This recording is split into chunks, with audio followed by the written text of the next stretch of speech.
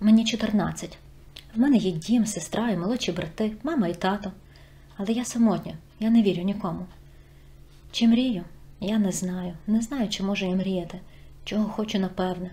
Я хочу жити сама окремо і мати песиків і котика. Я дуже сумую за тими, яких вже немає. Батьки купили мені зараз собаку. Я її люблю. Ще я люблю малювати. Я багато разів уже про це говорила. Мені було 13 тоді. Я не уявляла, що зможу розповісти хоч комусь про те, як мене зґвалтували. Був страх і почуття сорому. Тоді не було кому сказати про це. Він кинув мене на землю в лісі. Я не уявляю, як мені вдалося вирватися. Чудом я втекла. Наступного дня в селі ширились чутки, що я до нього лізу, зачіпаюся, йому вже 25. Він друг моєї родини. Було прикро. Батьки мене сварили дуже, якщо затрималася, якщо прийшла запізно, і в той раз теж. Зранку подруга спитала, що в тебе зі спиною, а це були подряпини з лісу від гілок на землі, які врізались у спину вчора. А зараз лиш подряпини сліди боротьби надгадували про той страшний вечір. Я нікому не сказала нічого.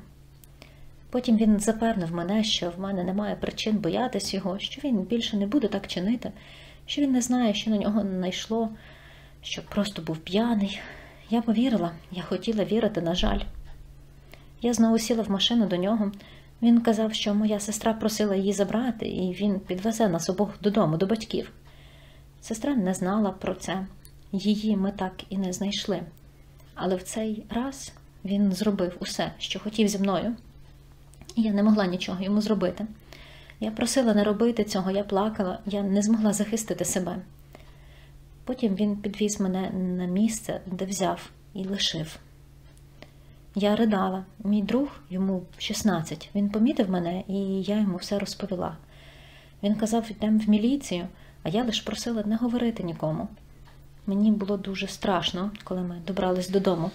Батьки знову дуже сварили. Довіряти мамі я перестала ще років 10, коли вона читала мій інстаграм, а потім мене наказувала за те, про що прочитала. Тоді на зло їй я і почала курити. Батько міг відлупити мене ременем, вдарити, ну, все, щоб зберегти нас порядними дівчатками. Як я можу розказати їм про те, що зі мною стало? Мені і так вкрай боляче. Я більше не можу знести зараз. Він зробив це знову. Він зґвалтував мене ще раз і знову ще раз на мій день народження. От мені вже 14, він робив це в кімнаті, а в другій були друзі, які мене зрадили, і ніхто не допоміг мені, коли я просила їх. Я добралась додому, пропущених від мами було безкінечно багато. В той раз мене знову сварили, батько набив мене, бо вони хвилювались. Я все менше могла себе контролювати, сльози виходили самі. Я не знала, коли це може знову статись, коли все скінчиться. Мені було страшно і самотньо. Моя тітка побачила, що зі мною щось не те. Я змогла поговорити з нею, бо вона була добра до мене. Вона розповіла мамі, мама татові.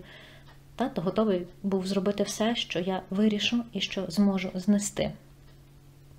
Мої батьки захищають мене як можуть. Почалось пекло, через яке мене змушують проходити на допитах в поліції. Їх багато, і це ще не кінець. Я живу в страху.